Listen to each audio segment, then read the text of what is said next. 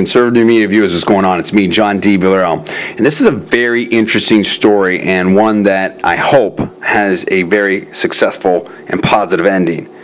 Apparently, there were some scientists from Russia that have been doing some research in Antarctica. They were doing some drilling for Lake Vostok. This is a large amount of water that has been below the ice. In fact, it's more than two miles below the surface of the ice. Now, what's even more crazy is that this lake, Vostok, this could be over 20 million years. It's even been exposed to the atmosphere above the surface of the ice. That is incredible. First of all, I have to say this is all my personal opinion only. I'm not alleging facts, I'm not casting aspersions. This is all for entertainment and parody purposes only. Please check disclaimers. Now, here's where this gets very unusual in my personal opinion. Apparently, this Russian team, they had been working on this for a while.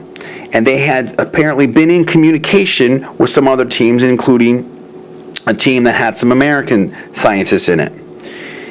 And I think that they were close, like very close, to being able to penetrate uh, the ice and get to that Lake Vostok that had been trapped down there for millions of years. I believe they had satellite phones and there had been ongoing communication to some degree, and then no contact and it's been almost a week since there's been any contact. Now, of course, the conditions in Antarctica are extremely, extremely harsh. And we're certainly concerned with and are hoping for the best for the safety of those Russian scientists.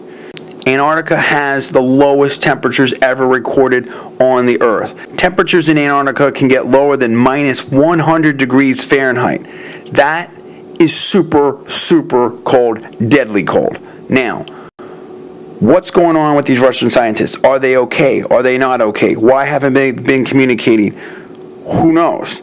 Maybe the Russian team is intentionally not communicating with other teams. Maybe there's something secret that they found. Maybe they're trying to keep the information to themselves. Maybe the batteries in their sat phones ran out. There could be all kinds of different explanations here. Do you think there's something unusual happening here?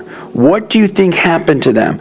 Do you think that they're going to be okay? We are certainly hoping that they will be okay, but this right now, as it currently stands, is an incredible mystery, one that I frankly am riveted to. I want to know what happened. Were they able to reach Lake Vostok? What did they find? What's in there? Why aren't they communicating? Where are they now? And what are people doing about it?